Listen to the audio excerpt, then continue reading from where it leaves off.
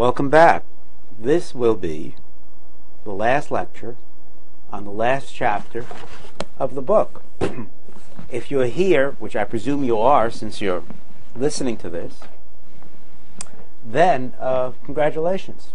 And let's say this is really a different lecture than many of the others in this book. It is graduate level, probably. Uh, research level, possibly. You know, it's, it's really putting lots of different pieces together. Some very interesting mathematics in addition to the computing, but opening the doorway to lots of opportunities. So, we'll talk about doing quantum mechanics and doing scattering in momentum space. This is an area in which I've done research for several decades, so I like the area, obviously, uh, and it's an occasion to talk about something that I helped actually write some of the programs for. So, maybe the only place in the whole book. So, this should be fun. But I can't get anything to work. Here we go. Okay, what's our problem? If you haven't already looked at the bound state problem in momentum space, you should stop everything, go back, listen to that lecture, read that material, because that's easier than this, similar, but we use that as the basis. So we have the same type of problem here. We have a projectile within some medium, many particle, multi particle medium, so that the potential it feels is non local. Okay? So when you have a multi particle medium, you'll get a non local potential, so the Schrodinger equation becomes equation 1 here in which we have the usual kinetic energy term, plus we have here a potential energy term which involves knowing where all of these other particles or the effective potential that they generated happens to be. So you have to integrate over all of space r prime to determine what the interaction is at point r. Okay, so it's something more is happening out there than just a local interaction. Here, we're also solving this problem in momentum space. And what that means for scattering is different than bound states. It means that we really have a center of momentum system which we're solving the problem in. So we have a projectile here, say, of momentum k, mass m2, hitting another object, normally called a target, momentum minus k. So they're equal and opposite momentum. That's why it's called the center of momentum frame. And that can have another mass. So the masses can differ, but the momentums are equal and opposite. And since momentum is always conserved, the final state, the state after the scattering, will have one of the particles moving off mo with momentum k prime, the other particle moving off with momentum minus k prime. So the left-hand figure here says we have a non-local potential the right-hand side of the figure says we're looking at a scattering problem, and this is the geometry for the momenta, for the kinematics that occur in scattering. Okay? Equation 1 here, which is the Schrodinger equation in coordinate space, describes such a situation. However, it's an integral differential equation. I said it again, integral differential. And that's hard to solve. One has to solve that iteratively and one has to solve it by both approximating derivatives and integration, and it's usually not very satisfying, and it's usually with more approximation. So uh, we'll go to momentum space and solve the same.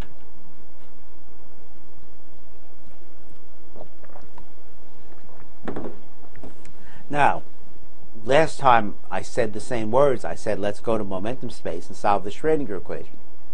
Well, now we won't directly solve the Schrodinger equation in momentum space, but will in fact solve an integral form of the Schrodinger equation known as the Lippmann-Schwinger equation, named after two very bright guys who figured out how to do all this stuff. Okay? And the issue is we want to solve for scattering. Now, if you don't know any scattering, these terms may not mean too much for you to you. If you know some scattering, then it should be fine, even classical scattering. When you do a scattering experiment, you measure these particles. You measure particles coming in, projectile, you measure a recoiling particle, and you look at the scattering angle between them, and from that you deduce what's known as a scattering cross-section. Okay? So it's a scattering cross-section, a differential cross-section. Essentially, it's the uh, effective area of the target as seen by the beam. Big cross section means it looks big. Small cross section means it doesn't scatter much. But that's an experimental observable. You actually can measure that in the laboratory. When you solve the Schrodinger equation for a wave function, you're solving for something which is non-observable. Even if you square it, modulus square it to get probability density, that has nothing directly to do with the scattering experimental configuration. So instead of solving the momentum space wave function using momentum space Schrodinger equation, we look for another equation which deals directly with the scattering cross section.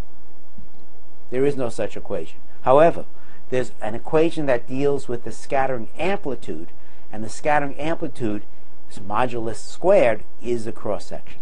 So essentially, we look for we'll solve for an amplitude, and the experimental observable will be that amplitude squared. Okay, so equation one here is known as the Lippmann-Schwinger equation, and it is equivalent. It's in fact derived directly from the Schrodinger equation, and it gives us an equation for R, which is a form of the scattering amplitude it's often called the reaction matrix, or rather, or the scattering matrix, something that gives us the scattering cross section. Okay, and we see here, whoo, it's also an integral equation. Why an integral equation? Because the unknown quantity is now the scattering amplitude function of two variables, k and k prime, and that unknown quantity also occurs under the integral sign. So we have to integrate over all momenta a potential and this unknown quantity and some energy denominator here. It's the Green's function, if you know what that means. And it has an interesting property, which is we're integrating from zero to infinity, which is fine in momentum, but there is a number here, k0. Now, k0 is just the energy. If you want k0 squared over 2 mu is actually the experimental energy. So k0 is a known number. The potential here is known. The energy is known because if you've done the experiment, you know what you've done the experiment at. If you don't know that, don't be an experimentalist. And the mass, the reduced mass mu, is also known. So everything, these quantities are all known. K0 is known, and it's a regular number. But at some point, when we do this integration from 0 to infinity, we will hit the value of p equal to k0. You can't avoid it. Okay, unless k0 happens to be a complex number, okay, which it's not, but that's happens sometimes, uh, we, we have a singular equation. And so we avoid that singularity by having this capital P out here. So this capital cal calligraphic P means that this is a Cauchy principal value integration. Okay, so we'll talk about that in a moment. So we have this equation to solve, the singularity is handled by using this Cauchy prescription. And we'll solve for, again, angular momentum zero bound states. We're using units, natural units in which the Planck's constant h bar is 1. So it's a nice simple looking equation. And this is the same equation you see in the textbook, and there's references there for the quantum mechanics textbook as well. So that's your problem. Solve equation 1 in momentum space, a real integral equation but a singular integral equation as well. Look at this slide. Pretty, pretty pictures.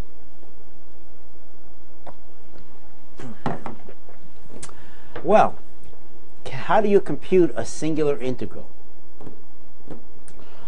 Computers are usually not the way to do this, so we need some analytic skills which we mix in with our computational skills. How do we handle the singularity? Well, here are two figures. On the left is the plot of the function 1 over x. Isn't that nice? Very easy, perfectly symmetrical. At x equals 0, right at the middle here, this thing is singular. Goes up to infinity, then it goes to minus infinity as you pass through x. So this is a singularity. You're looking at what's known as a singularity, a place where the function is singular, very, very large, and in this case, it bounces back and forth between plus and minus infinity. Okay.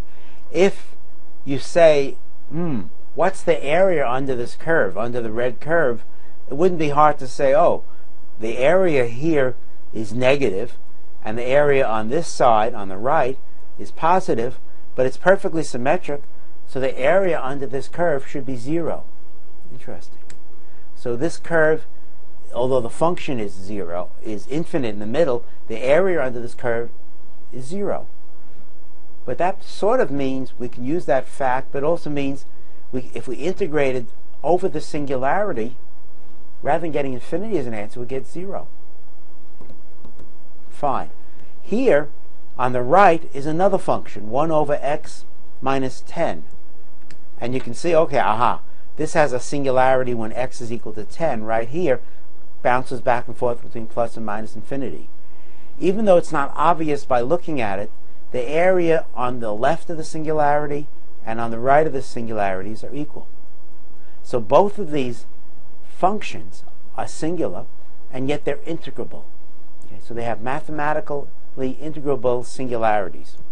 We'll make use of that. Okay.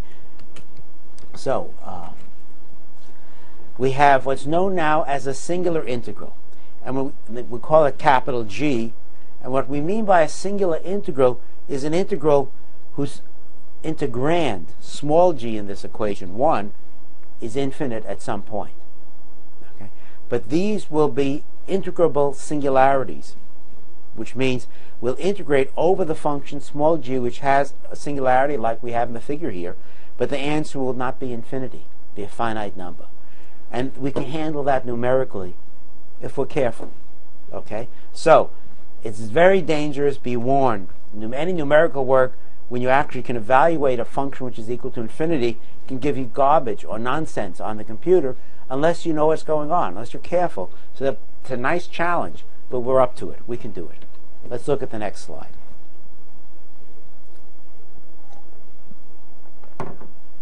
Okay. So the next slide answers the question three different ways. How do you compute singular integrals? Okay. The answer is, of course, well, you have to make a decision what to do with the singularity. One approach is to give the energy, or give this constant k0 in the equations, a small imaginary part. So we can give it a small real, a small positive or a small negative imaginary part. And the first two parts of this figure do just that. In one part, if we if we give the uh, if we give the energy a small imaginary part, we move it up in the plane here. So essentially, when we do the integration, we go below it, and then we move it down on the left-hand side, and so we go around it that way. Or we can give it a small positive imaginary part, a small negative imaginary part. So we move the singularity down here and up on that side. So we move it we integrate not through it, but around it, and we miss it in that way. Okay? So A and B here, the first two parts, give the singularity a small positive or negative imaginary part. The other approach, or another approach, and there could be various uh, variations of this, is to use is the Cauchy principal value prescription, P, as it's called, and that says, well, if the singularity is right here in the middle, we integrate up to this is a singularity at k, or k0 in our case, you integrate to k minus epsilon, where epsilon is an infinitely small number, and then we integrate from k plus epsilon, that should be epsilon, where epsilon is again this infinitesimal small number, and then we evaluate that. We never touch this point, we take the limit as epsilon goes to zero. So this essentially pinches or squeezes gets infinitesimally close to the singularity with never going through it. That's what this capital P represents. So mathematically, or in terms of just equations, capital P says if you have a function that has a singularity, in our case at k0 here, Cauchy principal part, as it's also called, says take the limit as epsilon goes to zero of an integration to the, that goes to the left of the singularity plus a separate integration that starts to the right and goes out to infinity. Never go through it, but get as close as you want. Fine. So now let's use that newfound mathematical knowledge and realize look at these two friends of ours. Okay, so look at this next slide, please. On the next slide, we talk about how we evaluate numerically a principal value integration. These are known in mathematics as Hilbert transforms, like Fourier transforms, but they, they're a principal part evaluation.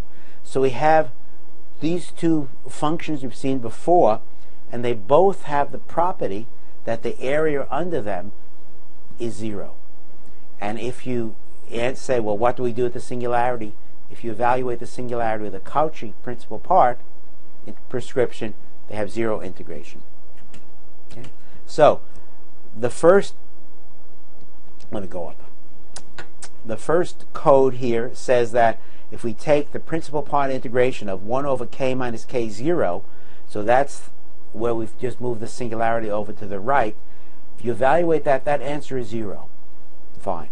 If you now break this first integral up into a part from 0 to infinity and another part from minus infinity to 0, change the variable on 1, so add them together, you get another form exactly mathematically equivalent to the first integration going from 0 to plus infinity, but then you get a k squared minus k0 squared.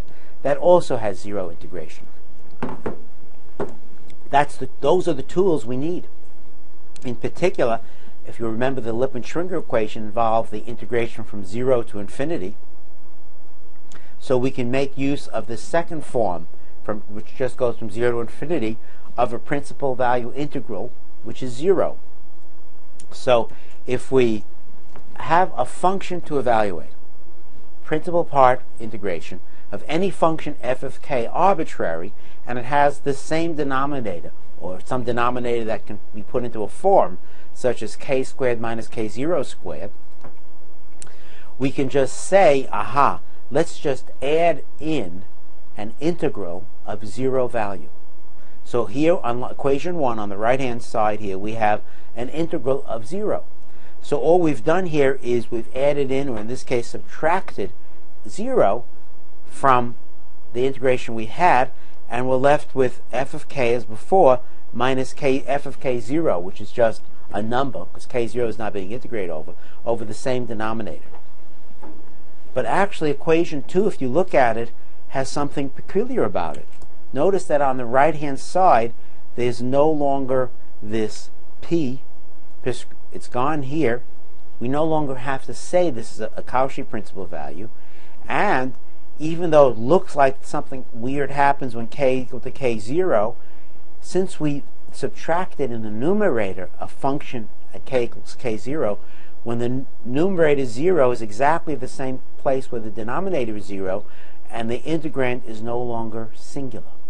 So, on the left we had a Cauchy principal value prescription which had to be handled in a very precise way. You couldn't do that on the computer, per se. On the right, we've rewritten it in a form which we can do on the computer. And as, as we get arbitrarily close to the singularity k0, we just, you can expand the numerator in Taylor series and see that, oh, first term cancels, we just get a derivative up here. It's a finite integrand now as well as a finite integral. Aha, we can now do Cauchy principal parts on the computer. And there's other ways as well, but this is a straightforward direct way. Some of the other ways involve having the integration symmetric and then literally closing in on it. But we won't talk about that. This is more than enough. So let's get on and apply this and then be clever and see what to do.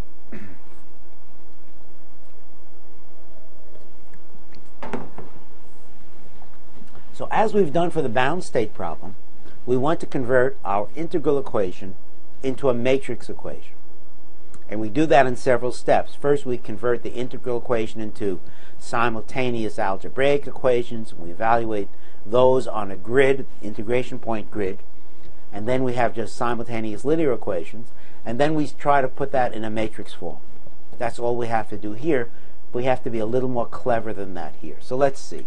So what do we have? So first we have to rewrite that principal value description in terms of a definite integral.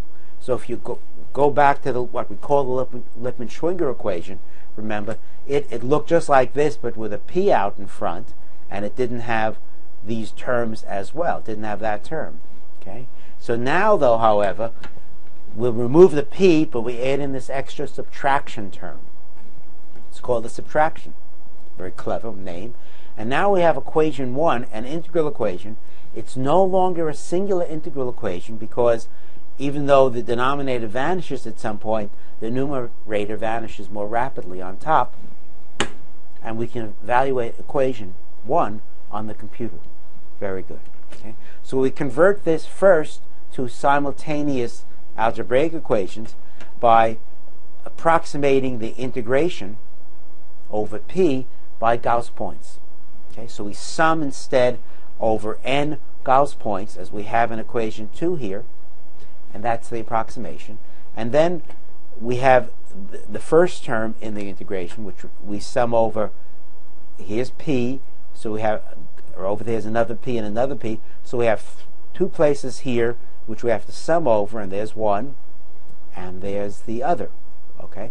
If we look at the second term, we're summing over p. There's no p up here. Oh, none of these terms in the subtraction have any p.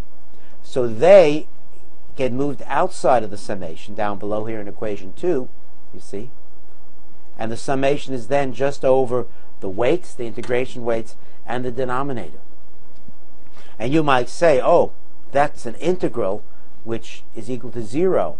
Well, analytically it's equal to 0, but here we need to keep this term in to cancel off any of the singularities that occur from the first term. So these are the two terms.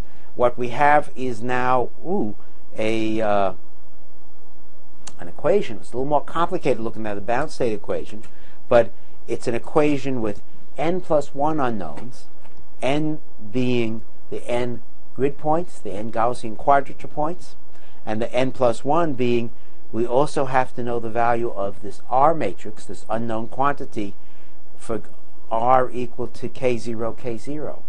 Whereas, if you look here, on the left-hand side, we don't know what K is, so that's unknown. K0 here stays constant throughout. So that's a K0 there, there's a K0 there. That doesn't change. So we have a vector, an n plus one dimensional vector of unknown values of r as given here. K0 is always fixed.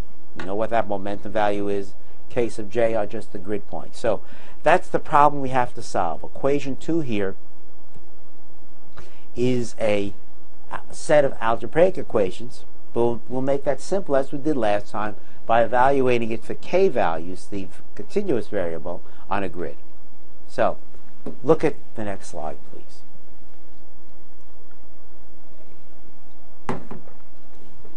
Okay, so now we have to evaluate our equation on a grid, but we also have to add another point into the nomenclature, into the summation, because we have this experimental point k0. So we define k sub j, or k sub i here, to be the usual Gaussian quadrature points for the first n points. But if the index is 0, we use the 0 index to represent the experimental point. The point where the experimentalist has done the measurement, his energy is just k0 squared over 2 mu, or her energy, whatever. If we do that, we then get equation 2 here, with i represents the the, the k value, second index we're forgetting about because it's always k0, we get a simultaneous set of n plus 1 linear equations to solve. And these are them. Okay, so we have the unknown here are the r values, the r values, the r0 value there. Okay, so we have n plus 1 unknowns, we have that many equations as well. So we should be able to solve this. But the first step we have to go through now is to write this as a matrix equation. And it doesn't quite look like a matrix equation yet because there's a lack of symmetry here. So, one of the things, clever things people have done, and I think this was done by Haftel and Tabakin originally, is to say, in order to write this as a matrix equation, let's define another constant. Let's define another vector called a d and it has values which are equal to one sum here uh, for for the Gaussian quadrature points and is equal to this other sum, the other term here, which is the whole summation for the on shell or the k0, the uh, observable experimental point. Okay, if we do that, then equation two becomes equation three, and equa I'm sorry, equation 2 becomes equation 4 here in red, okay? So we get a matrix equation. R is equal to V plus dVr. Fine. How do we solve that? Well, if we bring over the dVr term to the left-hand side, we can factor out the R, fine, and then we get uh, R times 1 minus dV, multiplied by the inverse, fine. We get equation 4 here. That's the solution. Okay. So left-hand side is a matrix equation. The solving it by determining the inverse, which is one approach, gives us a direct solution. Will the inverse exist?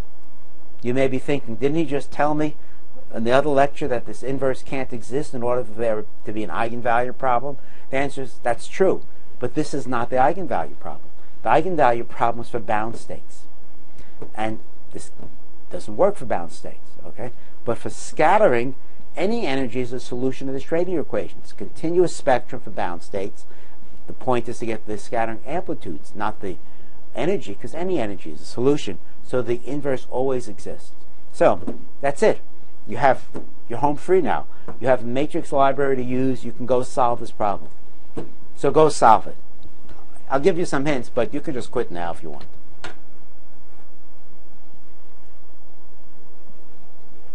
Okay, so here we have our solution. Here we have our problem. R is V plus V dV dVr. We want to solve that. The direct solution is by inverse matrix inversion. We give you a Python code here which solves the problem directly. It's not necessarily the fastest way, but it's a good way. Uh, the fastest way may be Gaussian quadrature. Now, both Gaussian, I'm sorry, Gaussian elimination, both Gaussian elimination and matrix inversion are in various mathematical libraries for matrix routines. So you could use either. Gaussian elimination is, tends to be the fastest, maybe more reliable. We've used direct matrix inversion because it turns out this other object here, this inverse, is related to the wave function, scattering wave function. And sometimes we want to use that wave function so that it gives us a way of determining the wave function directly. So here is the, the code. This is the one that runs and it, what it's writing, solving for right now is sine squared of the phase shift. So this is in fact proportional to this cross section that the experimentalist would measure for L equals zero. And what you're seeing is that sine squared delta is going through one, it's going through a maximum. These are the resonances. So these are the resonance scattering you can get when you scatter from this delta shell potential. So remember that we have this uh, you know, delta shell here.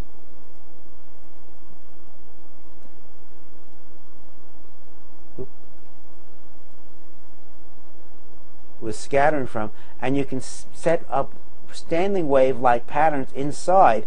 Some waves get trapped. They correspond to this point here at the maximum. Okay? And this point as well. So here you can see, and you may think this is a numerical artifact, and believe me, we did, for quite a while that there's some very unusual property that goes on, a cusp-like behavior. Well, it's a very, very sharp resonance is what it is. Uh, very, very hard to compute accurately at exactly this, this is the value of KB down here, and this is K0, which is the energy, and B, which is the size of this sphere. Okay, so this is what the solution should look like. Okay, and then if we, if you look at the code, we could see how we've solved for it. So there's lots of different parts of this code. We don't need all of it. But you can see what we're doing here is we're calculating this matrix F, which we called D up before here, but actually the code has some other terms to it. So there's the, the matrix F being computed. There's the one being uh, added into it. And here we're just saying, okay, take the matrix F and find the inverse of it from the linear algebra library, and then multiply that inverse by the potential, and that gives us the R matrix. So this, these two lines do all the hard solutions. Finds the inverse right there. Here it multiplies it, as a matrix. So it's pretty straightforward. So uh, that's all you have to do. And now we have an analytic check. Okay, so we, we're doing the delta shell potential, so you may as well go ahead, get to work. You've seen that this is what the cross section should look like. And if you look at the analytic answer here, you see that it's, it's very close to the numerics, at least through the first resonance. But after this incredibly sharp peak, the numerics tend to fall off, or at least the numerics as we've calculated them. And as I've said, the delta shell potential is numerically just barely integrable. So it's hard to do numerically, and, and, and it's not, in, not exactly reproducing the analytic result any longer, but it's still pretty close. So you could probably do better. We haven't bothered. We'd like to show you we're not always so perfect. So solve the delta shell potential. In momentum space, we know the potential is just falls off like k prime and k, 1 over k prime k. So that's only a logarithmic-like convergence, not good enough. But you can check the answers with the analytic solution, which is given here. So the analytic solution is just tangent delta. Given by this expression. So let's determine the phase shift. And the R matrix you get from the code, one particular value of it, as given on equation 3, is also proportional to tangent of delta. So you can determine direct comparison of experiment and theory, which is what we have here. So again, repeat the calculation, try for different values of potential strength. Most importantly, vary the number of grid points. You know too small a number can't be precise, as you make it larger and larger, you should increase the precision up to the point where round-off error starts coming in and causes problems. So, it's time for you now to do the computation. Let me wish you farewell, happy computing, and we hope you've enjoyed the lectures. And let me thank Sally behind the camera again, Hare, who's been working with us, and hope you read the book many times and enjoy it. Bye-bye. We're done. Thank you, Dr. Leonard. Oh, no, no, hey, stop it, stop it. Turn this off, turn this off.